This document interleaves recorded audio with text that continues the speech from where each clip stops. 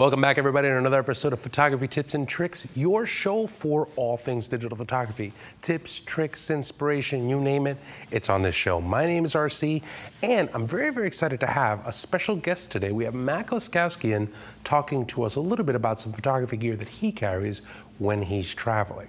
Before we do that, however, I think it's a good time for us to check in with Mr. Scott Bourne. Scott's got a great new book, all based on the iPad. Take a look at this.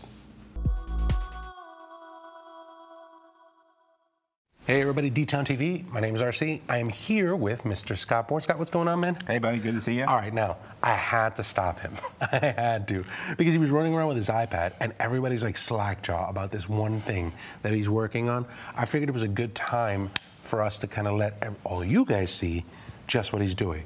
Go ahead and bring that up. I, I think okay. that that's really cool, dude. So this is a new book that Rich Harrington and I wrote called The Basic Beginner's Guide to Photography, Light, and Exposure and it's made with iBook Author, the new free tool from Apple. Okay. And all 70 million people who own an iPad can currently see this book once it makes it into the iBook store. As we're talking here today, it's a few days from being approved, but okay. we have a, an advanced copy of it since we wrote it. Okay.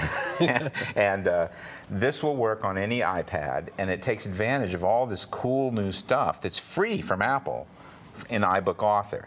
And if you want a way to show your work in a book-like form, this is something you need to know about. Now, there are some immediate arguments against it, RC, in that well, only 70 million people can see it. Well, where I come from, that's a, that's kind that's of a, that's kind of a big market, but you know, uh, it, it, it, eventually will be seeable on any iOS device. Apple's right. going to eventually make these work on probably even their computers. Right, right. And you can generate a standard PDF from this. The negative of that is you lose all the interactivity.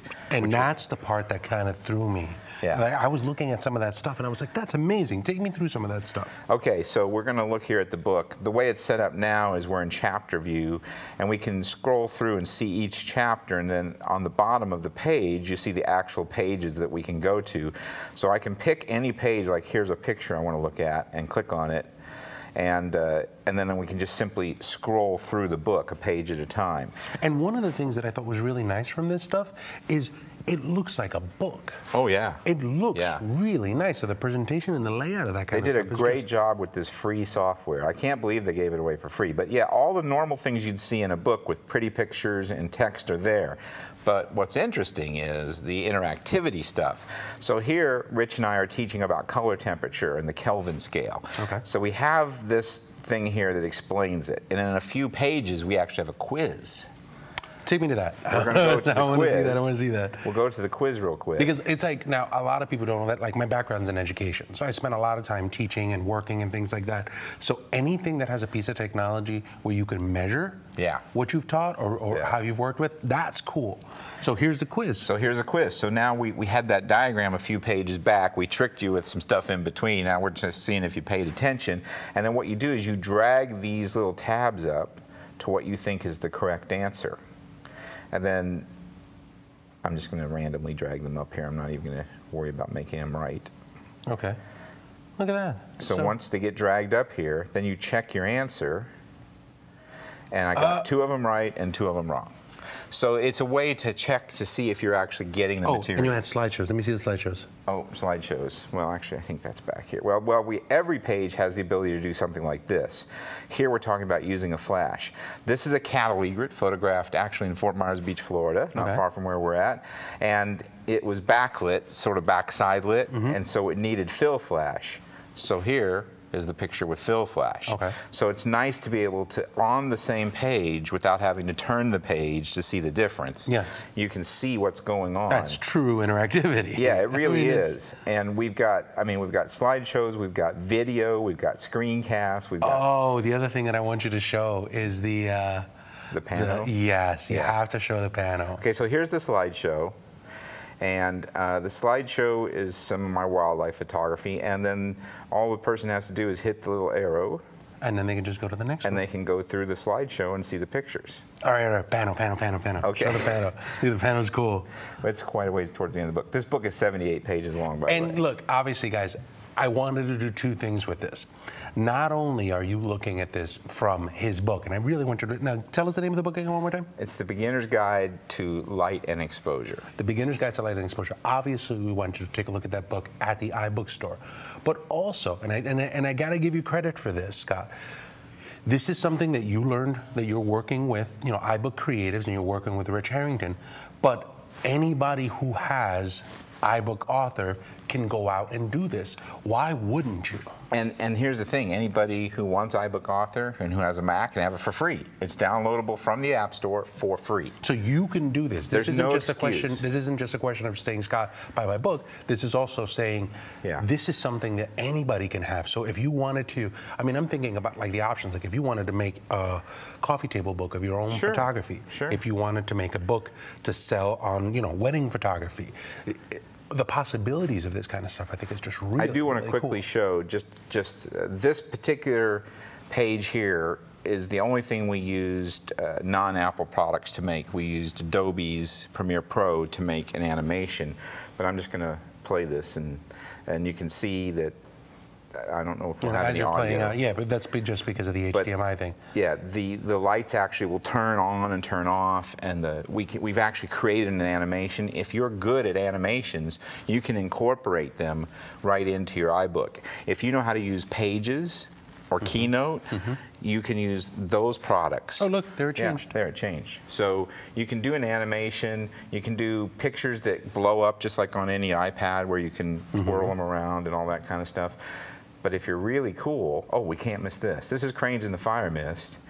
And here you can click on these little tabs, and, and I, I use these to teach what was Yeah. going on. And uh, these tabs make the thing a lot more interesting and interactive. And then we'll do the The panel. piece de la resistance. So this is the backside of the Kenai mountain range, and this Okay. is from Homer. This is the lodge we stay in whenever we go up to photograph eagles.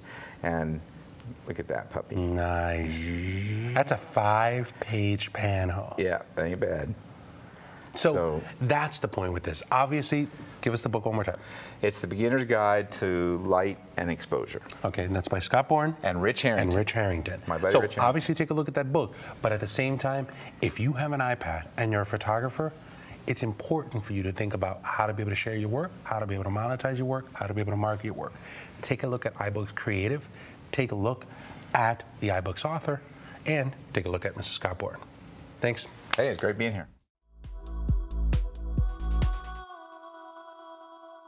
Hi, my name is Dave Black, and I'd like to welcome you to Kelby Training, where you can come join me on my light painting landscapes class. One of our locations is going to be at one of the most famous, iconic barns here in Jackson Hole, Wyoming. Not only will we do light painting there, but we will also do some soft focus technique. The site survey will give us an opportunity to look at our subject and start to figure out where we'll have camera position and where we would be applying the light painting from. Now, just because we're out here in the great outdoors in a big national park, don't think you can't do these at home. All the basics and fundamentals that we'll cover in this video will teach you how to get into light painting landscapes, whether you're out here in Teton National Park or right in your very own hometown. Come to my light painting landscapes video at kelbytraining.com. I hope to see you then.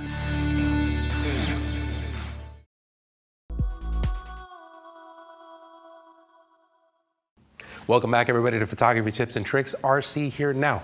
All of this stuff would not be possible without the folks over at Kelby Training. Guys, if you're into photography, whether you're a beginner or you're an expert and you're looking for inspiration, how-to techniques, something to walk you through from very beginner to great inspiration, Kelby Training is the place you're going to want to go. Go to kelbytraining.com and take a look. We've got some phenomenal classes from the world's best teachers. We even have Dave Black, who has a brand new light painting class that's out today. So take a look at that over at kelbytraining.com. But before I go on and on and on about Kelby Training, I actually have one of the instructors from Kelby Training, my co-host here at Photography Tips and Tricks, Matt Kloskowski, who's going to talk to us about his mobile gear.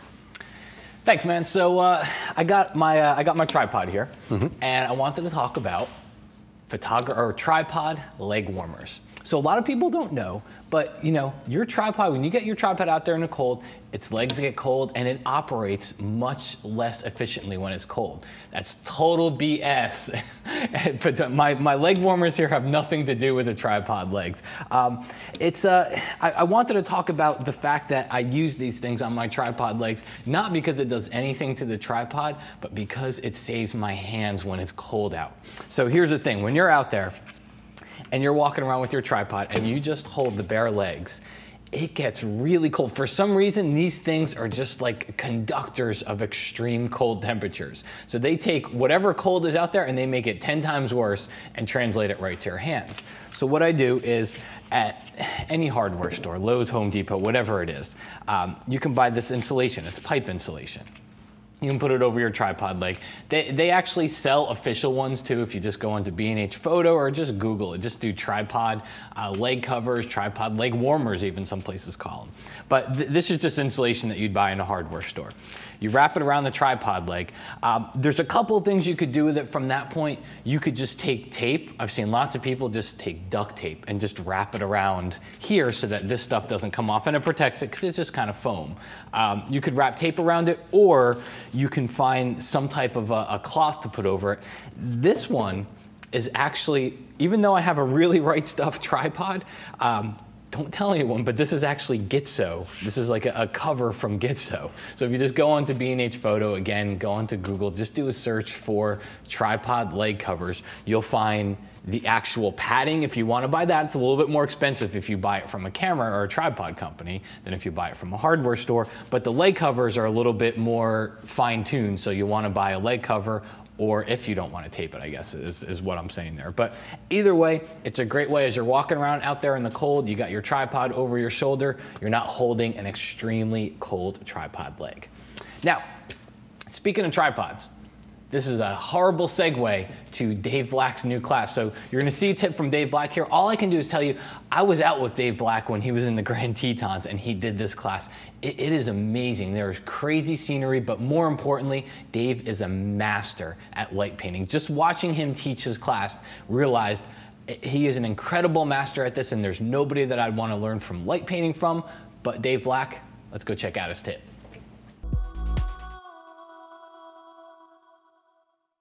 Hey guys, I'm Dave Black and I'm here to give you a couple of tips on light painting. Now light painting is long exposure work, usually done uh, in a dark uh, studio or in, in, this case, we're out in the uh, national parks and uh, that would be nighttime photography.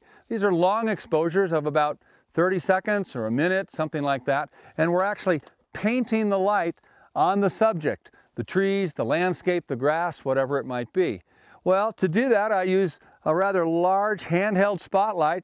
It's got 2 million candles of power, and that is called a Brinkmann, a Brinkmann uh, Multi-Max here, and it tends to spill the light to the side a little bit. So sometimes I'll put a honeycomb grid over it and that'll channel the light down so I can control the amount of light that I paint the subject with and not have it spill over parts of the picture that I don't want light on. Very, very handy. That's the honeycomb grid. Uh, my other little tip is going to be, well, how do you trigger the uh, camera if you're you know, standing 50 or 60 yards away from the camera and you're trying to apply the light from the Brinkmann from an off-camera location? Well, I actually use the Pocket Wizard uh, Multi-Max transceiver.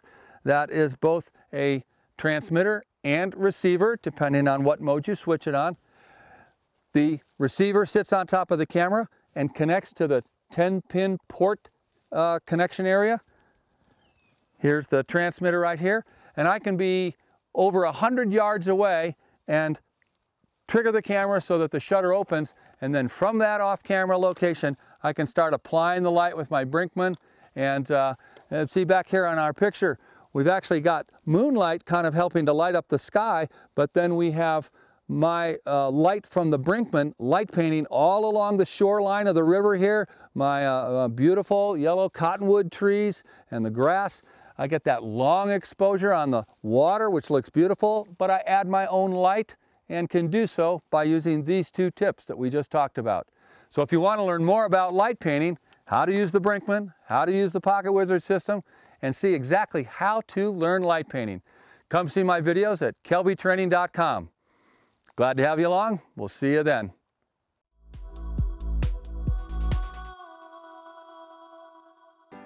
Do you ever find yourself getting frustrated? You know, you want to make a new picture, but you just can't seem to come up with an idea?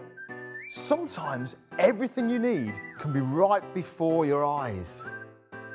We don't always get the chance to find the perfect background. We don't get to go to exotic locations, but everything we need could be just round the corner. There's so many things around me and make my own unique backgrounds. Now, of course, we don't always get to work with professional models. Most of the time, we'll end up photographing the girl or the guy down the street. But we've got our idea, we've made our background, we've got our model. All we need to do now is make a bit of a character and then put it all together. I'm Glyn Dewis. Come and see my class over on Kelby Training. Who put that there?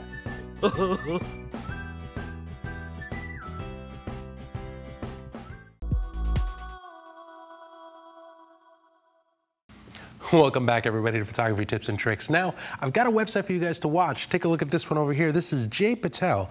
Jay is a photographer, Jay and Varina Patel. They go out and they do some great work. They're amazing, amazing landscape artists, and you can see that on my Google Plus. I have them circled as homies. I didn't even change that.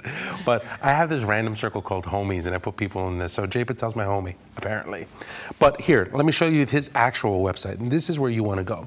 You want to go to jaypatelphotography.com. He's got some great, great landscape work. I mean, look at this. It's just absolutely beautiful. I know that they do workshops. They also do uh, a lot of stuff in the Flickr community and the Google Plus community. So if you want to see some amazing work, jaypatelphotography.com is the place where you can see that.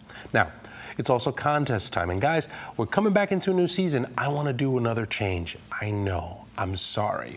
But this is what I want you to do. I want to get the comments from you guys. I want to hear. We were getting some really, really good ideas coming in from the KelbyTV.com community on the shows. So what I want you to do is I want you to come over here and I want you to go to KelbyTV.com. Once you get here, I want you to go through our shows, and this is photography tips and tricks right here. So we'll go ahead and we'll tap on that.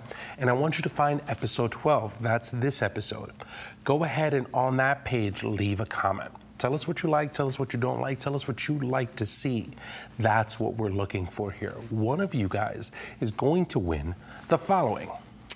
You will win Rogue flash tools. So basically what we got here is we have a rogue grid. This goes over your hot shoe flash and it's basically, it's essentially a way to direct your light in a specific location. And then we also have gels that can go on top of it. But that's not it. I sound like a, uh, I sound like a game show it's not like a game show host, but that's not all. Um, so with the other thing is we got Photoshop World coming up. So Photoshop World is coming up. It's in mid-April in Orlando, Florida. Um, now's the time to start thinking about it if you are going to go because everything is cheaper at this point than if you wait till two or three weeks before. But we're going to give away a ticket to Photoshop World. It's a full conference pass. You can go. You can take all the classes that you want. You still got to get there, and you still got to find a way to stay there. But you will have a ticket to go to anything you want at Photoshop World in Orlando. So if you want to see more information on Photoshop World, make sure you go to photoshopworld.com. It's April 17th to the 19th, 2013 at the Orange County Convention Center in Orlando, Florida. It's going to be the place you're going to want to see all of these instructors and all of these experts talking to you about digital photography and Photoshop. Guys, that's pretty much wraps us up for, for this week. Next week, we'll go ahead and we'll have some more tips from Matt and others here on Photography Tips and Tricks.